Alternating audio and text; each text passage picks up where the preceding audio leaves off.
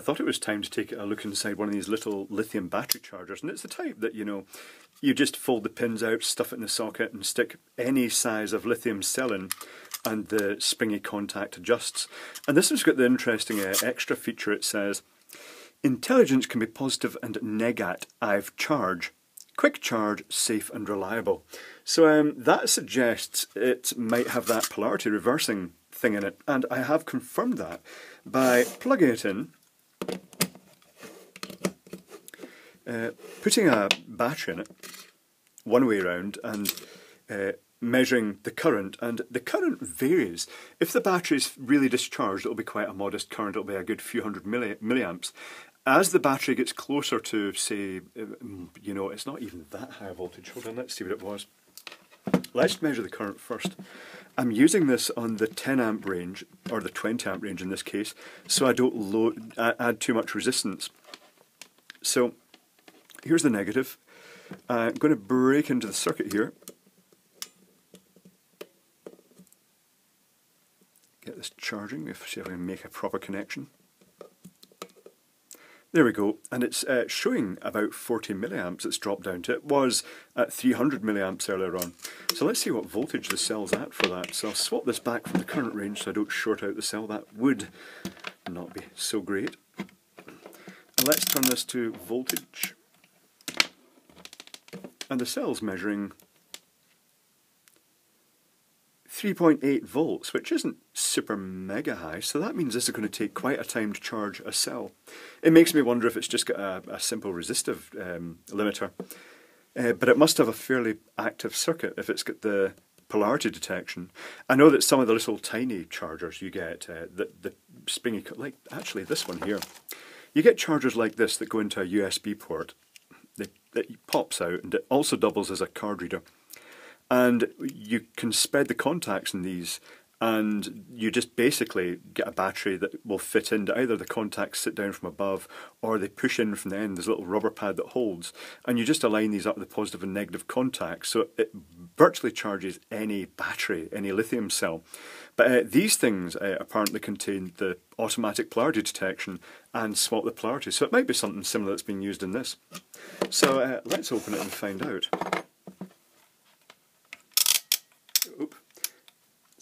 turning the meter to the off position, all I need to do is push the button. Right.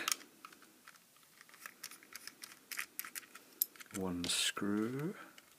Does this get hidden screws? Oh, it does.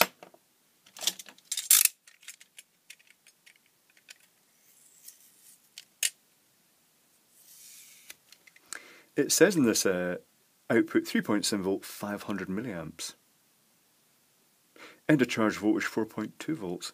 Um, so the 500 milliamps is, must be with a completely flat cell. Now is this thing going to spring apart?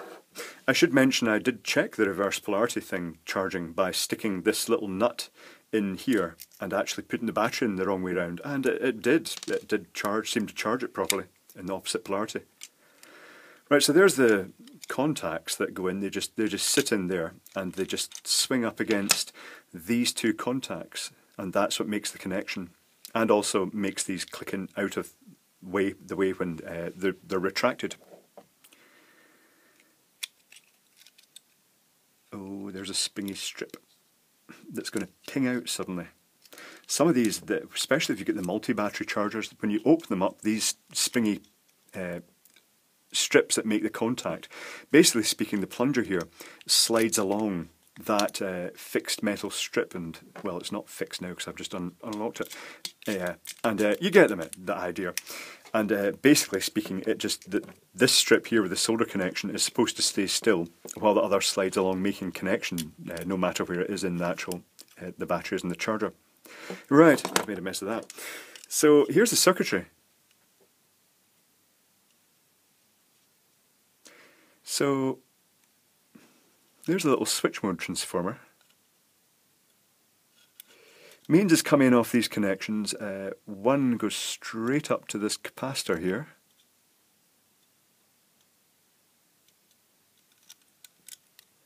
The other goes through a diode to the capacitor. Right, I'm just going to pause and I'm going to reverse engineer this. Okay, so one quick burst of reverse engineering later, I, I, did the usual. I took a photo of the back, flipped it over and faded it out so I could draw the components on as viewed from the front. It just makes things so much easier to trace them out. So having traced it out, the circuitry is very simple, there really isn't much at all. The switch mode power supply is based on a standard transistor. Uh, the transistor, I should write the number of the transistor in, is actually, all the component values are actually written in the circuit board. 13001. 13001, which is a fairly generic transistor. Its NPN's at a high voltage, about 400 to 600 volts. And when you power the circuit up, uh, there's a single diode, 1N4007, charges this capacitor, uh, the smoothing capacitor, 1 microfarad, not super generous, but I, I, don't think this circuit works at a very high current. Um, the resistor here uh, kick starts. It's a, it's a high value resistor that trickles enough current that the transistor starts, charge, uh, starts conducting. And when it does, it induces a current in this, the primary here, which induces a um, couples to the feedback here, which uh, then is coupled to, to the base of the transistor via this capacitor and this quite low value resistor at 30 ohms, so 1 nanofarad, 30 ohms. And uh, as the current through this increases, it causes an avalanche effect that it drives the transistor on. Uh, when uh, no more uh, magnetic field can be coupled across, when the coil is not so much saturated, but when it's as much as the primary can put in it, it uh, the current coupled back stops and then it, it, basically has that opposite effect, it turns off. This feedback circuit, there's what looks like a 1N4, 148 diode, basically pumps this, um, because the uh, this is the opposite polarity, that's positive when it's driving the transistor, but negative when the field's collapsing, and that's the point it will be putting the current through this diode into the secondary. But if that's offload, the, depending on the voltage in that capacitor, the voltage in this capacitor here will change as well and it will be charged negatively. Um, and when it's been charged to a high enough negative voltage, then the current to the drive the gate has to exceed the voltage of this 7.8 volt Zener. Now, it did say on the circuit board it said 6.2 volt Zener, but I tested it and it didn't start conducting until about 7.8 volts. But that's the regulation. It means that if this side's off load, then the voltage in this capacitor rises to the point that it basically stops the, the circuit or, or reduces its running to a very low level until the load's put back on again. On the secondary, we've got a 1N4148 ungenerous diode, which I'd normally only rate for 100 milliamps max, and it's charging 100 microfarad 16 volt capacitor. And then it's this dedicated chip, HT3582D, actually HT3582DM, but I ran out of space for the M, but not to worry. Um, and that has, that does everything basically. It's got the plus and minus in. It's got two LEDs that it drives directly. It's got internal resistors, one for fuel, one for charging, and then the two outputs are each decoupled to ground to the negative rail by a 100 nanofarad capacitor. And as far as I can see, this that this detects the voltage on the battery that's and won't obviously start charging a battery if it's gone too low. Uh, if it's a lithium cell, so if it's dropped below about I'd guess 2.5 volts ish or less, it won't try charging it. But it also uses the detection of the battery voltage to determine the polarity. As far as I can see, this is an H-bridge driver in it.